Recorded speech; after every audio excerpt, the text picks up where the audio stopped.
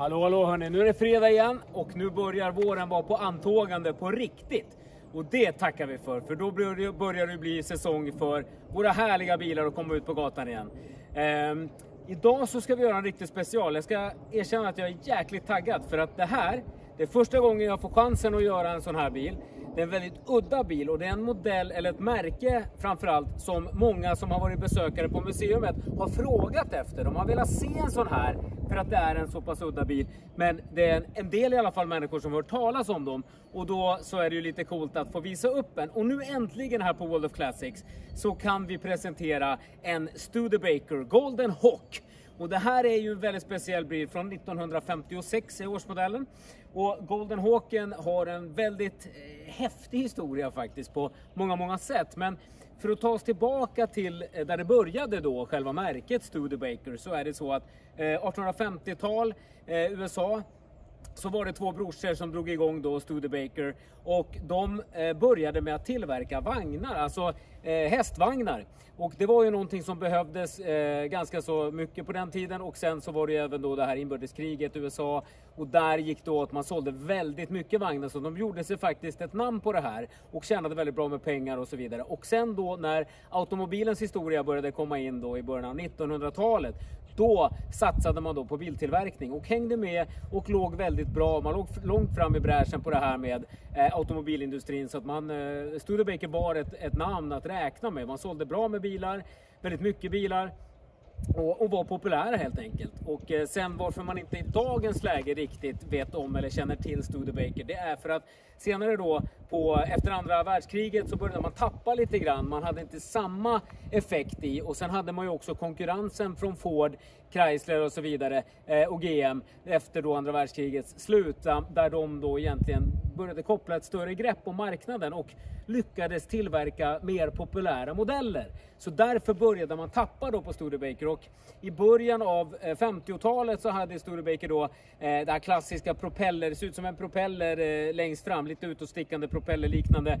Och det var ju lite ballt, eller man tycker ju fortfarande att det där är skithäftigt. Men Studebaker blev sedan mera då uppköpta utav Packard. Så Packard köper Studebaker och både Packard och Studebaker drogs där och då med eh, ekonomiska problem. Men ändå då så valde då Packard som var mer kapitalstarka utgår jag ifrån att köpa då Studebaker och inte tvärtom. Och sen så då slog man ihop de här två allianserna i form av att Packard då förvärvade då Studebaker och fick då använda också namnet och fortsätta tillverka. Så i det här fallet då när det är Golden Hawken eh, 1956 så är det då Packard som äger Studebaker på den tiden. Men märket heter Studebaker. Eh, lång harang, men det är väl egentligen kort och gott så det hänger ihop. Och Golden Hawken blev ganska snabbt en bil att räkna med för att den här lilla kupén eh, hade då en V8, en kraftig maskin eh, som är på 275 hästkrafter. Och 1956 då, det här året, så gör man också en, en jämförelse. Då satte man då en Corvette och sen så satte man eh, Chryslers 300 ben, Chrysler 300, eh, som hade hemimaskin då. Och sen så körde man även en sån här Golden Hawk. Och 0 till 60 eh, miles per hour så vann Golden Hawken, vilket gjorde också att den här bilen gjorde sig ett namn och var jävligt häftig på det sättet. För att Eh, den är ju som sagt mycket mindre då också än vad i alla fall Chryslern är. Den är inte mindre än Corvetten men den hade mer eh, å andra sidan då effekt. Så att den gjorde ändå, de hade, de hade lyckats göra ett bra koncept kort och gott med det här. Eh, med Studebaker då. Så att eh, Golden Hawken blev eh, populär tack vare också att den presterade bra. Så att det var en pigg liten bil. Eh, så att han, eh, ja, den sålde ju mycket säkert bara tack vare det också, utgår ifrån. Så, vi ska dyka in hörni och titta lite närmare på allting. Och Eh, vi börjar i fronten, så häng med nu på denna härliga eh, annorlunda bil.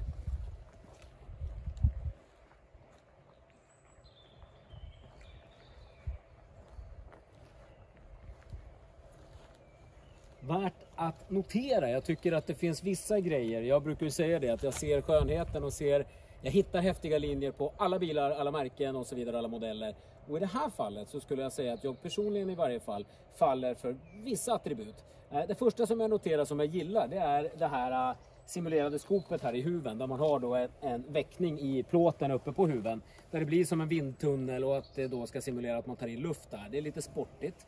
Sen så tycker jag att det är en cool välvning på huven för det är en väldigt brant välvning ner här framför vid grillpartiet och grillen sitter ju då som ni ser i huven. Ehm, och sen har vi också de här uppenbara, uppenbara munnarna som är här i krom. Inkromade munnarna på sidorna gör också att den får ett, en egen look. Kromat, mycket kromat såklart, stötfångare, alltihopa. Sen har den också någonting som eh, kanske i det närmsta påminner om eh, bakljus på eh, typ 62 Imperial. Och det är de här runda eh, positionerna som sitter uppe på skärmarna, fast fram då i det här fallet. Påminner i varje fall. Jäkligt coolt, måste jag säga. Så det är en tuff bil på, eh, i många hänseenden. Och under resans gång i Studebaker så var även eh, Virgil Exner då, när vi ändå pratade förut om Chrysler, Virgil Exner var också med på Studebaker-tåget ganska tidigt. Eh, han var inte med när man tog fram den här, men han var med i alla fall tidigare då på 40-tal. Eh, så att han hade ett finger i spelet faktiskt med att ta fram då populära Eh, karosser, eh, designat populära karosser till Studebaker på 40-talet. Så Virgil Exner är ju i övrigt känd för forward look-eran inom Chrysler Corporation. Men eh, ni vet hur det är, de hoppar lite grann emellan de här eh, filurerna, de här designer, chefsdesignerserna.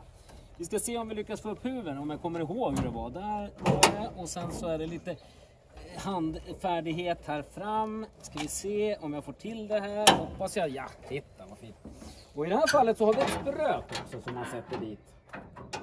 Där ska den sitta. Alright, nu tittar vi under huven hörni. Det här är ju då en packad maskin, en 352. Sky Power står det på ventilkåpan. Ja, Sky Power, kanske en association till att man eh, gick, att det gick så fort så att det var lite med flygplan eller att man tänkte sig att det skulle liksom låta lite så i alla fall. Eh, styrservo har vi, vi har bromsservo på den.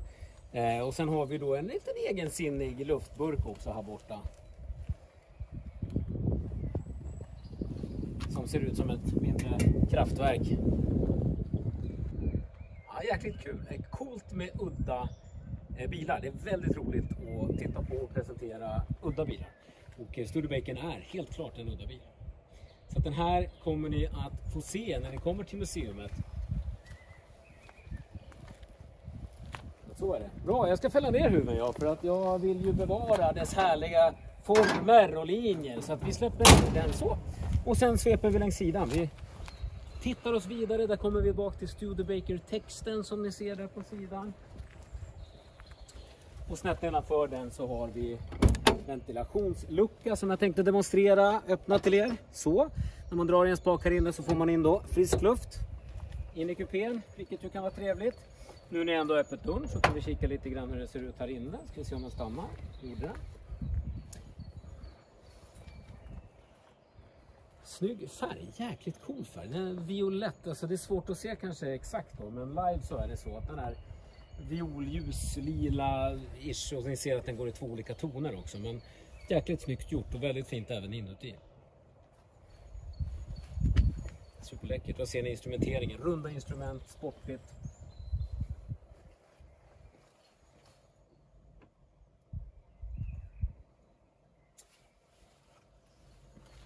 Och här så ser ni på den här eh, lappen där, eh, brickan. Där ser ni också det här med Packard. Studebaker Packard Corporation. Och eh, den börjar på siffrorna, chassinumret i det här fallet börjar på 6800 och det innebär att den är inte byggd i Indiana som de andra som börjar på 6300 är utan den är byggd i eh, Los Angeles. Så att det här är en Kalifornienbil. Coolt.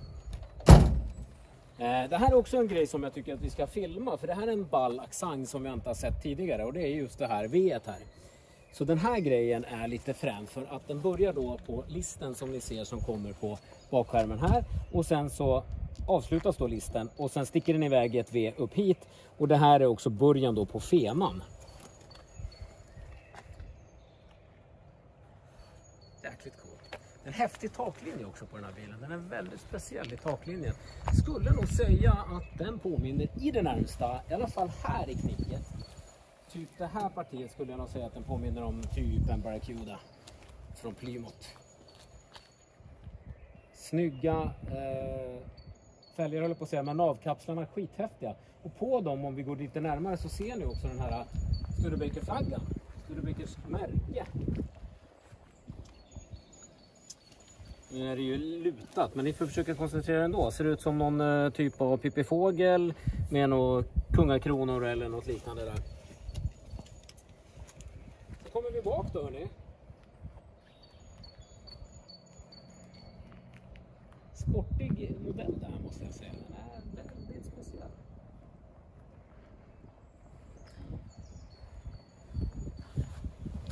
Och ni ser här, här har vi då fenorna och sen har vi då bakljusen. Och samma sak här då med de här äh, små ja, imperialliknande runda varianterna som sitter där också då som backljus i det här fallet. Skulle jag utgå ifrån. Det här är positioner där är nog förmodligen backljusen i alla fall. Sen så står det då Golden Hawk här bak där det också är räfflat i plåten. I underlaget till texten. Och där har vi också då sigillet, alltså Studebakers märke eller logga rättare sagt. Sen så har man då en vridspak där. Och här bak så har vi då i bagagerummet följande. Eh, ganska cleant.